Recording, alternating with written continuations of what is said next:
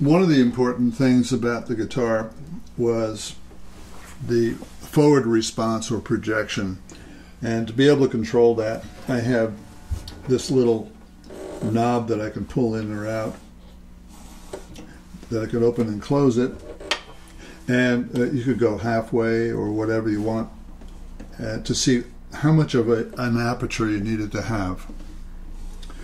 So uh, the forward projection.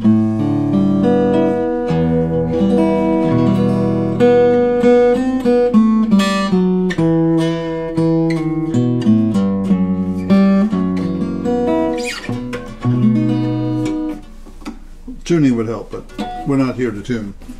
I'm here to explain what these do. So, the upper and lower bout uh, sound holes how I could build these and, the structure of them was not the idea that you could just put a hole in the side of the guitar. Okay. You can't do that without jeopardizing the, the structure of the instrument, the integrity of the of the guitar. And one of the things I learned when I built this was the connection, the structural integrity from one side to the other on the side really matters. So this connection going around uh, needed to be super structured.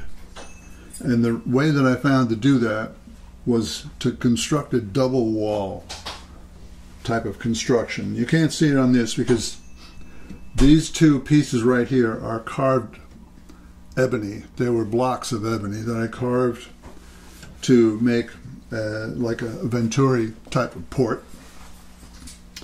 Uh, so you can't really see the, stri- the, the side construction here as you can on my more re- recent guitars.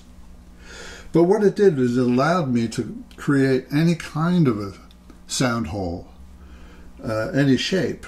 I chose these shapes because uh, as an elliptical type of design, it was probably the most practical design and the most controllable design.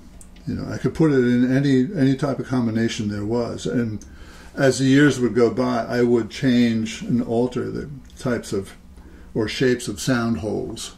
But this was a learning process, the whole thing. This was a real a real breadboard of ideas that were beginning to take place, and so to be able to open and close them I, I use a very flexible type of stainless steel, spring steel, and these are stainless, and so they the contours will change.